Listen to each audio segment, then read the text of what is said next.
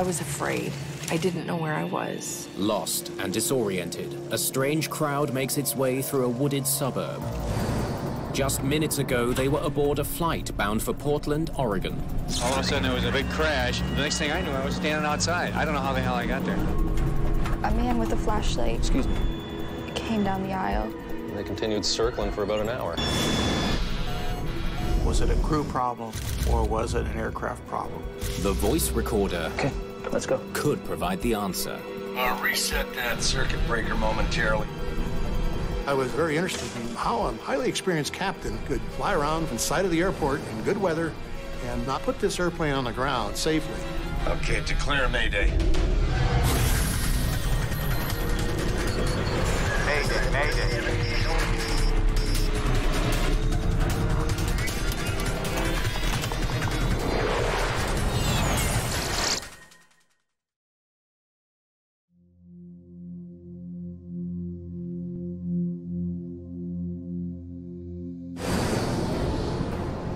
December the 28th, 1978. Losing an engine. United Airlines Flight 173 is less than 35 kilometers from Portland International Airport. It's like now. What? You can fly a DC-8 or any transport airplane with one engine inoperative. John Cox is a commercial pilot and aviation expert. Requires a lot of airmanship. Pilots train every time they're in a simulator in case of a loss of an engine. All right. Thing to remember is don't worry. Captain Malburn McBroom, a veteran of the Second World War, is one of United Airlines' most experienced pilots. His first officer, Rod Beebe, has more than 5,000 hours flying experience. The first officer was relatively new on the airplane. He had probably been on it six months or maybe less. He was an experienced pilot, but he'd been flying other uh, equipment. Flight engineer Forrest Mendenhall is the third member of the crew. Okay. It's his job to monitor the DC-8's three remaining engines. The flight began in New York City with a stopover in Denver. It's three days after Christmas. Many of the 189 people on board are returning from their holidays. 17-year-old Amy Connor is flying back to boarding school in Washington State. I picked up the flight in Denver, and uh, everything seemed to go normally. I got to my seat. I was sitting in between two very nice people. In the cockpit, All right. the pilots are focused on getting their plane to the airport. United 173 would like clearance for approach and 28 left now. Air traffic controller Ed Kingray is on duty at Portland Tower. I was working radar that night down in the radar room, but as I recall, it wasn't uh, all that busy at the time. United 173 Heavy. Okay, roll out heading 010 to runway 28 left. He clears Flight 173 to land on the airport's longest runway. He said, we'll, we'll be heading in for a landing now. In this case, he was coming from the east, so he lined him up for a straight in. You're gonna lose number three in a minute, too. The plane's engines are flaming out, one after another. I recall hearing the captain tell the tower the losing engines. With two engines gone, the autopilot can no longer fly the plane. McBroom must get the crippled DC-8 to the airport himself.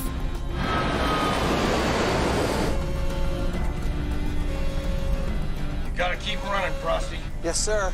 The engineer struggles to keep the last two engines running. How far do you show us from the field? I'd call it, uh... I told him it's 18, 18 flying flying miles, which would include the base leg uh, to the final and then the turn to final to the end of the runway.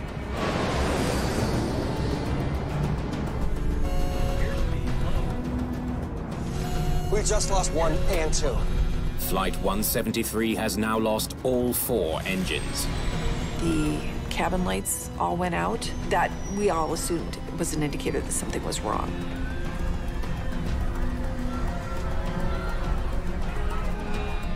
With no engines running, Backup batteries now provide power to only critical instruments.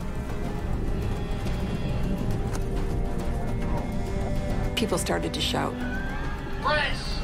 Brace! get your heads down, get into your brace positions. Brace! The 100-ton aircraft is losing more than 3,000 feet of altitude a minute. Total power loss in a DC-8 would be very catastrophic. At this rate, they will be lucky to stay airborne for as long as 90 seconds. Now Captain McBroom makes a horrifying calculation. We can't make it. The airport is too far away. Can't make anything. The jetliner is dropping fast over a city of 350,000 people. McBroom needs to find a safe place to put the aircraft down and try to save the lives of all on board. To land a transport jet off an airport is a situation that no pilot wants to face. Putting it into a populated area would be an absolute last choice. Okay, declare Mayday. Portland Tower, United 173, heavy Mayday. He The engines declared are flaming Mayday, and then in a very, what seemed to me like a, a calm, matter-of-fact voice, I could hear the pilot. The engines are flaming out. We're going down. We're not going to be able to make it to the We airport. lost power, we're going down. Emergency services are told what's happening. Flight 173's flamed out. They're going down. Kingray tries to figure out where they'll hit. I could see him coming in from the south, his navigational lights flashing. I could tell he was quite low, The DC-8 is coming down over a densely populated suburb. and I could no longer see him. I was, of course, expecting the worst. Suddenly, Captain McBroom sees what he's been looking for. A dark area up ahead. It looks like an empty field. The place that you want to put it is where there, there's minimum buildings, uh, the most open area possible, because the 200,000 pounds plus jet arriving at 140 knots, which is 160 plus miles an hour, it's going to do a lot of damage to the things on the ground. Putting the plane on this narrow strip of land is McBroom's best bet. But as he gets closer, he realizes it isn't an open field. We can't make it. It's a heavily wooded suburb, and he's headed straight for it.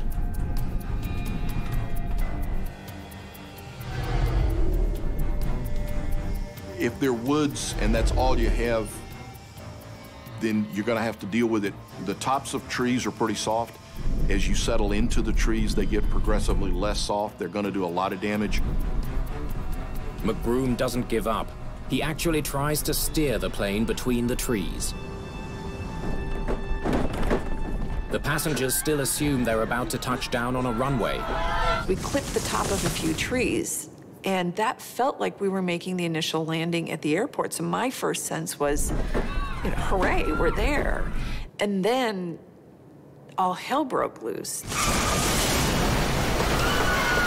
There was this enormous noise. I can't even begin to describe what kind of noise it is.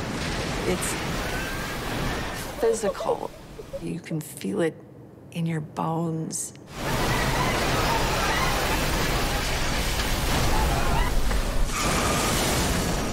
I saw the bright flash out there and, uh, and knew he had gone down.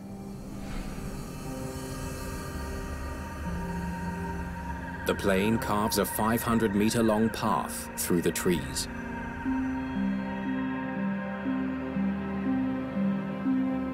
After the plane stopped moving, um, it was pretty calm. There was no fire. People just wanted to get out, and very polite, taking turns. There was no hurry. I remember seeing a lot of people with the same expression of stunned disbelief. You know, where are we and how did we get here? Incredibly, the DC 8 has crash landed in the middle of a major American city without injuring a single person on the ground. Most of the 189 passengers and crew are alive. Including Captain Malburn McBroom. The captain flying the airplane, he kept it under control, and that's a big, big, big positive. But he can't understand why his plane lost power and crashed. I was afraid. I didn't know where I was. I was only 17.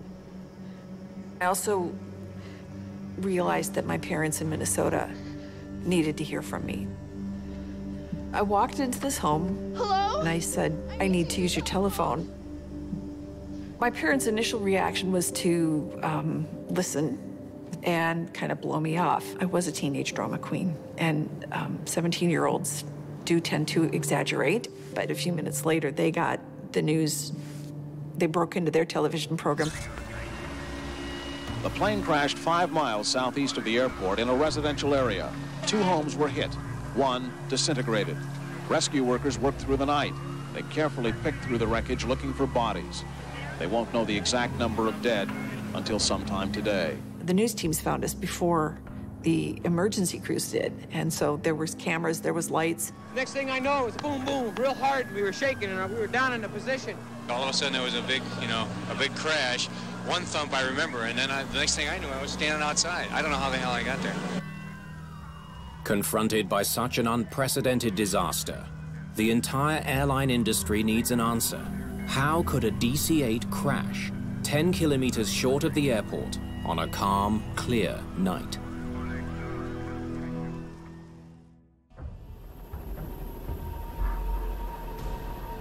The morning after the crash of United Airlines Flight 173, NTSB investigators are on the scene. One of the members of the team is human factors specialist Alan Diehl.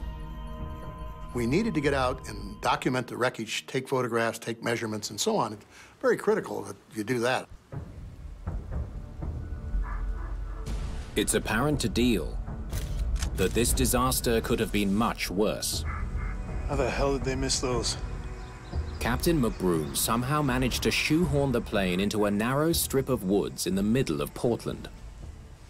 When I saw how close he'd come to apartment complexes, I realized this could have been one of the worst accidents in history.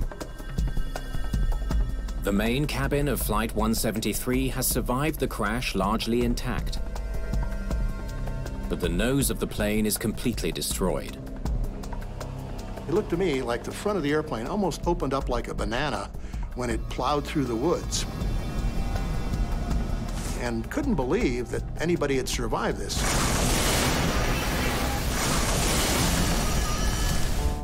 Eight passengers and two members of the crew are dead.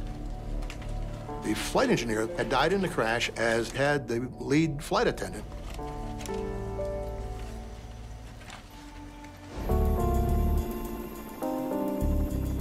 Investigators hope survivors can provide some insight into what brought this jet down. When did you first notice something out of the ordinary? Um...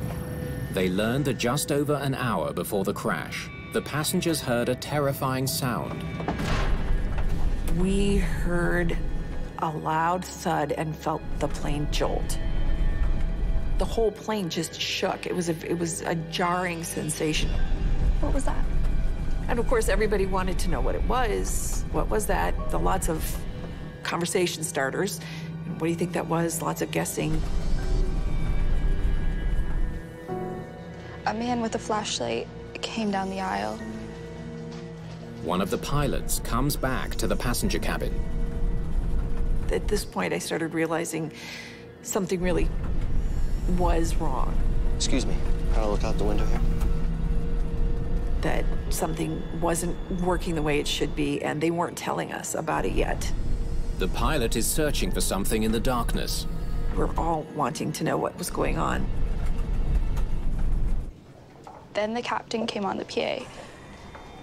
Ladies and gentlemen, this is your captain speaking. The pilot finally got on and said, we're having trouble with the landing gear. We're not sure whether or not it's working correctly. We'll be running a few routine checks. Captains are always focused on the safety of the passengers. It comes with the job. That is, if the airplane is experiencing an abnormality, what's the effect on the passengers and crew? Do we need to descend? What do we need to do to make sure that everybody gets through this abnormality with the minimum negative effects? How did the uh, cabin crew react? They told us to prepare for an emergency landing. Passengers are told to remove their jewelry and securely stow any loose items. It's clear the captain is concerned that his landing gear might collapse on touchdown. But something isn't making sense to Diehl. Crash landings on airport are, are eminently survivable. First of all, you've got all the equipment to handle the fire, the fire engines and the rescue people. But if you have to go off airport, it's a whole different uh, situation. How does a landing gear problem bring down a plane? At the crash site of United Airlines Flight 173, investigators retrieve the plane's flight recorders. One contains flight data. The other records voices in the cockpit. I've always said that the flight data recorder tells you what happened, but you have to listen very carefully to the cockpit voice recorder to understand why things happened the way they did. The recorders will be analyzed at National Transportation Safety Board headquarters in Washington.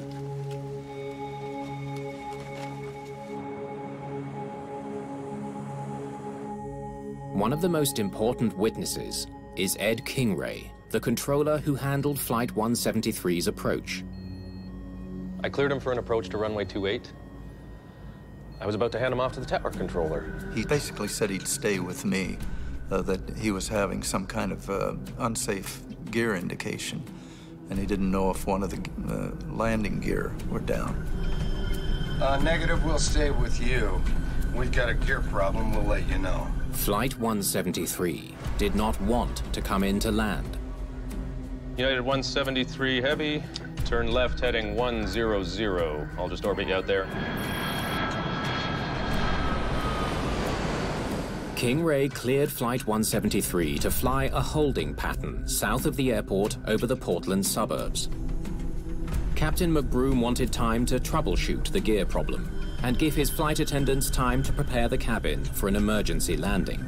If they have opportunity to plan and prepare people, things such as where the exits are, the quality and success of the evacuation goes up dramatically. A holding pattern would basically give him his own airspace there to do whatever he had to do. I didn't hear much from him after that. Investigators learn that after they begin circling, Kingray only speaks to Flight 173 to warn them of other nearby aircraft. I would give him traffic and he would acknowledge it. Uh, there's traffic out there about 9.30. I see somebody out there with a light on. But no indication to me what was going on inside the cockpit. The crew of Flight 173 is given as much time as it needs in the holding pattern. It's up to the captain to decide when it's time for them to come in and land. Well, they continued circling for about an hour. Investigators learn Flight 173 circled Portland for an unusually long time. There was no indication to me uh, the gravity of the situation. They now wonder what happened during that hour of circling to turn a landing gear malfunction We've got a gear problem. We'll let you know. into catastrophic engine failure. The engines are flaming out. We're going down. We're not going to be able to make it to the airport. I was uh, clearly very interested in, you know, how a highly experienced captain could uh, fly around for over an hour in sight of the airport in good weather and not put this airplane on the ground safely.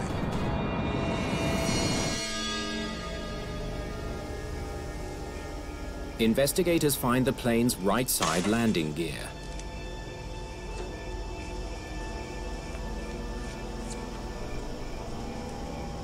A rusty bolt has pulled free of the mechanism that raises and lowers the gear. This could explain it. The landing gear would have dropped suddenly into place. the free fall of the gear would be very apparent to everyone on the airplane. What was that? You would get a very large thump or clunking sound. You'd feel the gear slam up against the lock, and so you'd get this reverberation through the airplane. And we learned that due to corrosion, the extension mechanism had failed, and that's what caused the gear to slam down. The discovery explains the troubling sound, heard in the cabin an hour before the crash. But it doesn't explain why the DC-8 lost engine power while circling over Portland.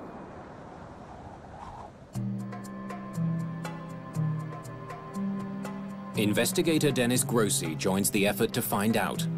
I was uh, assigned to be the aircraft performance engineer for this accident.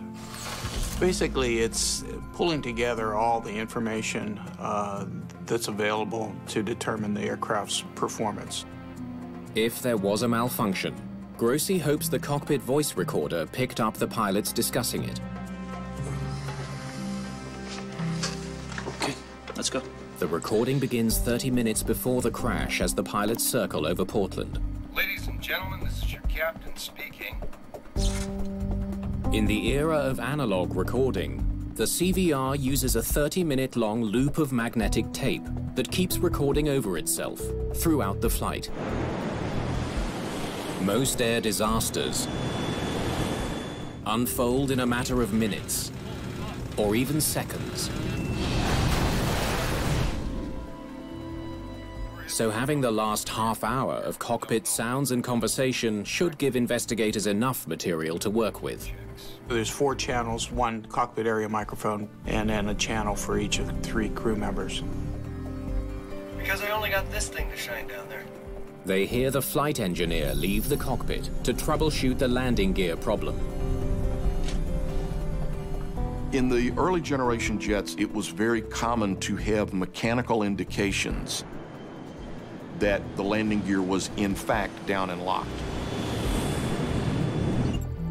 When the landing gear is lowered, a small rod pops up on the wing, providing visual confirmation that the gear is in place. The flight engineer would be asked by the captain to go back and check the mechanical indicators for the position of the landing gear. He'd walk down the aisle to about the center of the wing. Excuse me, can I look out the window here? And he could look over, and there are tabs that actually come up and go down. And he could see if the gear was extended and locked. It's exactly what Amy Connor described to investigators A man with a flashlight came through the aisle. in her post-crash interview. How's that main gear back there? Uh, both appear to be down and locked. Despite his engineer's report, Captain McBroom is still concerned. If the gear is locked, none of the lights should be flashing. And the touchdown of that gear folds or something. Obviously, the lights were affected, uh, the electronics that uh, tell the crew members whether or not the gear is down and locked. Landing gear failure is rare in commercial aviation. When it does happen, statistics show that most passengers survive unscathed. In 2008, engine failure forced British Airways Flight 38 to make a crash landing. The impact ripped the Boeing 777's landing gear from the fuselage. The plane was a write-off, but no one was killed.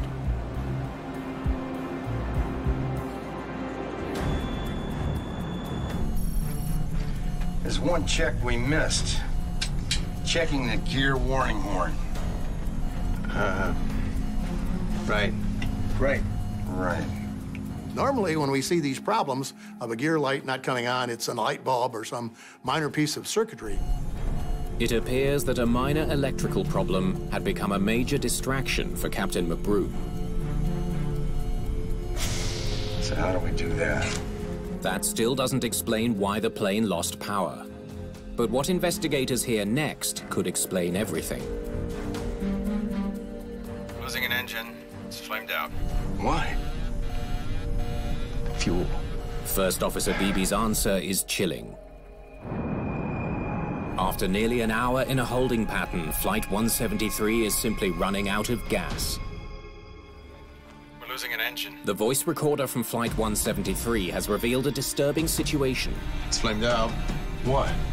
Less than eight minutes before the DC 8 crashes into a Portland suburb, the captain is unaware that his plane has run low on fuel. He was asking what was causing that, and he got a, a very adamant answer saying fuel. Fuel. As if to say, we've been trying to tell you about this all along. Hoping those crossfeeds here or something. There are crossfeed valves that are opened in a specific sequence to let one tank feed one or more engines. And it's the job of the flight engineer, in the case of a DC-8, to know exactly how to do that. Showing fumes. Though the crew couldn't agree on exactly how much was left. Oh, showing a thousand or better. I don't think it's in there. One thing is certain. There isn't enough to keep the engines running. Losing an engine. It's flamed out. Takes a few things for, to make an engine run. One of them is fuel. You got that crossfeed open? Captain McBroom is desperate. He needs to get more fuel to the remaining engines. No, I haven't got it open. Which one? Open them both. Damn it, get some fuel in there. Each of the plane's four engines has its own fuel tank. Opening the crossfeeds should allow fuel to flow between the four main tanks. Number two is empty. But it's not working. You're gonna lose number three in a minute, too. One by one, fuel starvation shuts down all the engines, leaving the DC-8 without any power. Okay, declare a mayday.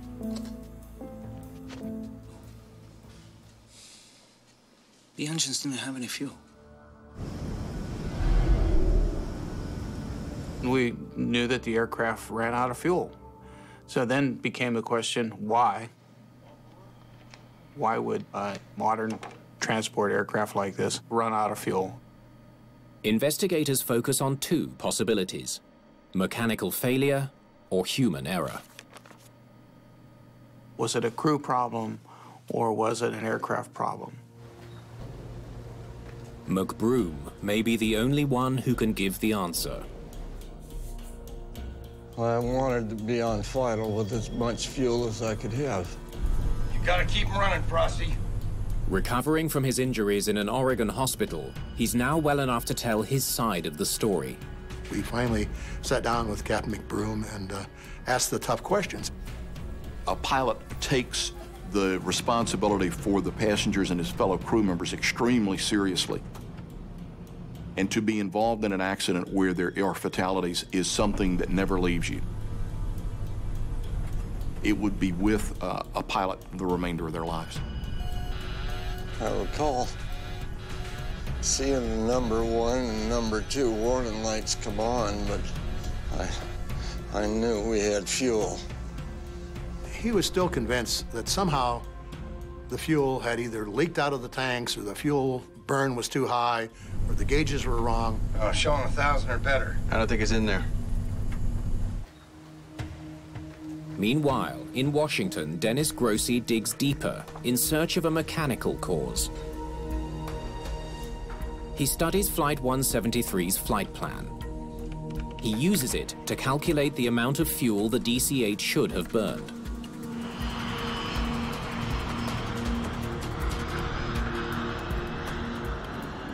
A DC-8 burns somewhere in the neighborhood of 13,000 pounds of fuel an hour. The question is, did this aircraft burn fuel faster than normal? If the data shows any discrepancy, it could mean the captain was right. The engines were using too much fuel. There must have been a problem that the engines were burning a lot more fuel than normal, or there was some anomaly in the aircraft. His analysis finds no problem. Flight 173 took off with more than enough fuel to reach Portland and was consuming it at the standard rate. Fuel burn is completely normal. The conclusion was that the aircraft performance was normal, and that there was no anomalies in the amount of fuel consumed. Showing fumes. Investigators are left with a troubling question. How could an experienced crew lose track of how much fuel they had on board and, in fact, run out of fuel when they were in view of the airport? Grossi considers the possibility that the plane's fuel gauges malfunctioned. He studies the CVR transcript, focusing in on the crew's discussion of fuel levels. Fuel gauges are not known for being all that precise. That's why it was so important for the performance study to correlate the amount of fuel that was actually on the aircraft with what was actually being indicated to the crew. How much fuel we got, Frost? If the gauges weren't working properly, 5,000. it could explain why the crew let the fuel levels fall so low. The crew discussed how much fuel do you have? We got 5,000 pounds. By matching the time on the transcript with the fuel burn chart, Grossi can determine if the gauges were working accurately. You take the data and apply the time factor to it, and you can figure out how much fuel they should have had remaining. He discovers the flight engineer 5,000. had the correct reading. 5,000. That's exactly right. There was nothing wrong with the gauges. He said that they saw 5,000 pounds. That was consistent with what the fuel burn study showed. Investigators are convinced that Flight 173's fuel system was working exactly as it should. Lights in the fuel pump. 35 minutes after the captain put his plane into a holding pattern, a warning light tells the flight engineer that fuel is dangerously low. That's about right. The feed pumps are starting to blink. Fuel pump lights come on. This means that the they're literally sucking air The- as the fuel sloshes around in the tanks. This plane should have been headed for the airport soon. But Captain McBroom still isn't ready to land. To be in an airplane with that little fuel, it's something I, that, as a pilot, I, I've never been in that position, and I would be extraordinarily uncomfortable. His reaction is puzzling. Figure about another 15 minutes. The flight engineer said, Captain, 15 minutes, that's going to run us kind of close on fuel out here. Not enough. 15 minutes is really going to run us low on fuel here. That was his one definitive statement to the captain that things were not right. The captain wants more time to prepare for the emergency landing. Call around. Give them our passenger count. Tell them to give that to the fire department. Instead of heading straight for the runway, he turns the plane into one last circle over Portland. I kept thinking, why isn't this guy turning into the airport at this time? The plane has been in a holding pattern for more than 40 minutes. It will take at least 15 more to land. But the aircraft has only 14 minutes worth of fuel. A crash landing is now inevitable. The engines are flaming out. We're going down. We're not going to be able to make it to the airport. Investigators now know that Captain McBroom received clear warnings about low fuel levels. This didn't have to happen. What they don't understand is why he ignored them. This was not an act of God. This was not a massive mechanical failure. This was an airplane that was perfectly flyable, good night, uh, within sight of the airport. This accident should never have happened. How much fuel you got now? The NTSB's Al Diehl returns to the CVR looking for anything that might shed some light on the captain's state of mind. When you listen to the tapes over and over again, you can detect things like voice inflections, subtle voice mannerisms that are trying to communicate uh, to other members of the crew. Diehl is struck by an unusual aspect of McBroom's behavior in the cockpit. How much fuel you got now?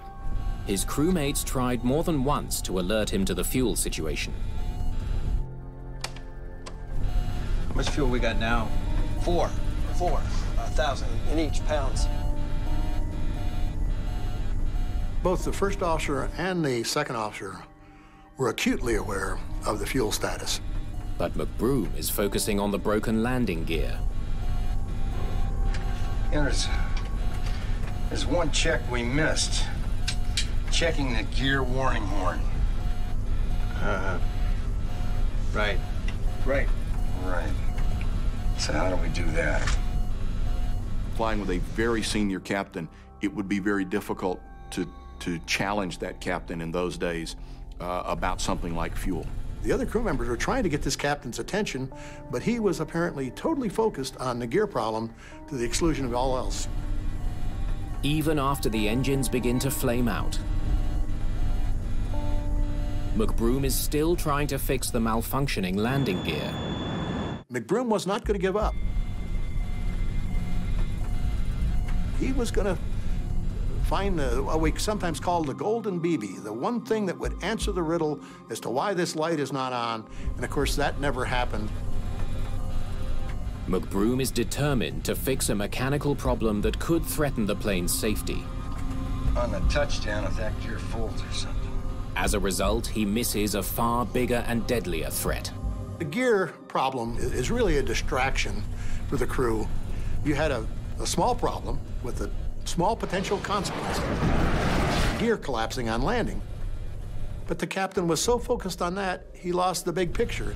Uh, reset that circuit breaker momentarily. See if we get gear lights. They lost sight of the real emergency, which was the lack of fuel.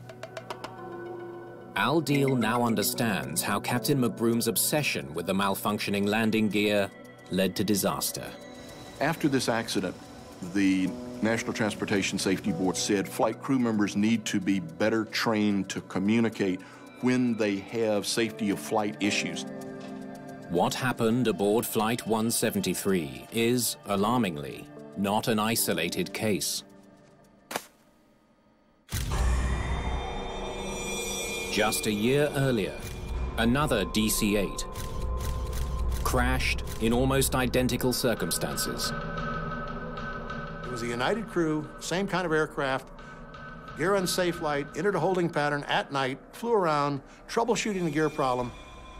They flew into a mountain and killed everybody aboard. It was one of a string of deadly crashes during the 1970s involving a lack of communication. The list includes Eastern Airlines Flight 401, a Lockheed L-1011 bound for Miami. Here, too, they had a gear unsafe light.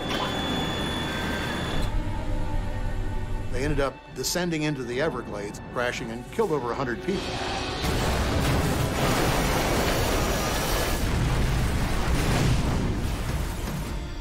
The deadliest air disaster in history at Tenerife in the Canary Islands. It was caused by poor communication. The collision claimed 583 lives. There was a pattern here where we're having the same types of accidents where other flight deck crew members were having a difficult time getting the captain's attention and making him do the right thing.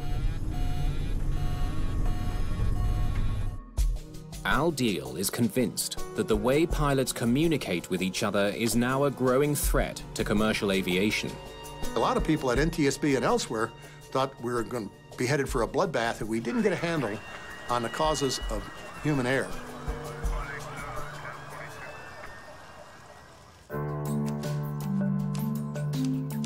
His hopes rest on an experimental pilot training program developed by NASA that could help solve the growing problem in the cockpit. It's known as Cockpit Resource Management, or CRM. It's a system of training designed to improve the way pilots communicate. It helps to improve crew coordination and improve collective decision-making on the cockpit. And the way it does that is it teaches captains to listen better, and it teaches the other members of the flight deck to be respectfully assertive. In a move that will have a lasting impact on airline safety, the Federal Aviation Administration adopts Diehl's CRM recommendation.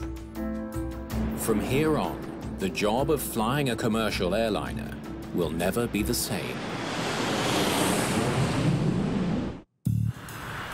United Airlines is one of the first to implement a CRM training program for its pilots. It's still in use today. United's Director of Flight Training Operations is Mark Champion. The principles of crew resource management are that no one individual in the cockpit can possibly understand or see all of the threats that are out there. It requires the entire crew to really foresee and manage the various threats that happen to be in play when an airplane is in flight. Today, United pilot Sherry Rutledge I'm having a hard, hard time maintaining my speed here. So. is undergoing CRM training. The flight, and you continue with you have the airplane. I got the airplane. In this simulation, she and her captain are dealing with an emergency. ECAM. Engine oil low pressure. If oil pressure is less than 60 psi. A mechanical problem has forced a shutdown of one of their two engines. Idle confirm thrust level. Engine one shutdown. Engine mode selector to ignition. It's designed to mimic the situations that I will see in actual airplane flying? Uh, yes. Oakland Center, United, uh, 1916. We're declaring an emergency. We've had an engine failure at altitude. There are specific threats that we have to deal with as a crew, be able to communicate, plan, decision make through to a safe outcome. So it's a problem-solving uh, type of scenario, and you're very focused. It doesn't look to me as though we've got a fire issue, though. We've shut it down quickly enough. All the flight crew comes together, agrees on, yes, this is the way uh, everything's appropriate, and then you go to the next step. Yeah, pull the book out. Okay. Let's take a look at that. It's very easy sometimes to know what your intention is and think that the people around you will also know what that intention is, uh, but that's not usually the case. And I'm going to go off and talk to dispatch to maintain flying the airplane. How are we doing on altitude? They keep each other informed every step of the way, exactly as the exercise intends. As well, I wanted to, ladies and gentlemen, your captain speaking. We're now in our descent uh, into San Francisco. The CRM training makes every difference in every flight.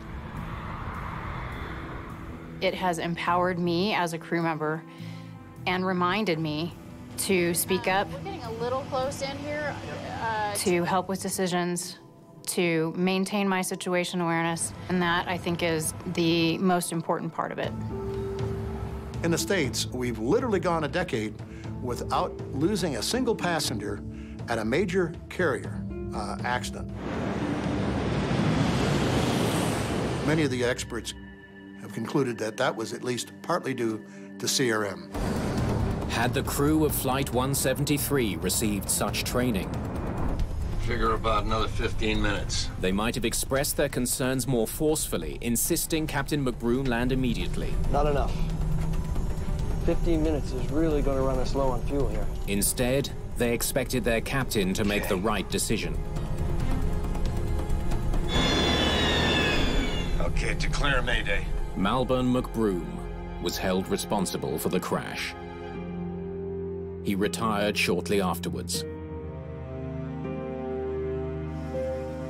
Flight 173 passenger Amy Connor met Captain McBroom in 1998, six years before his death.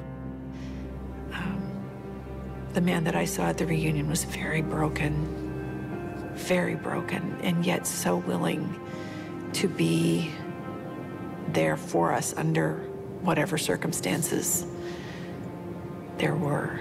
Call him around. Give him a passenger count. If I had had any anger toward him before the reunion, I sure didn't after I met him. I know that he truly believed he had more fuel on board than he did have. Tell him to pass that on to the fire department. I always said that pilot error is not an answer. It's only a symptom of some underlying problems. Thing to remember is don't worry. McBroom was flying under the cockpit culture of the time. This was an accident waiting to happen. They were a product of their times, and we have to judge those men by uh, the environment they operated in. You don't do that sort of thing on purpose. We can't make it. He was devastated. He lost his license. He lost his family. The rest of his life was just shattered.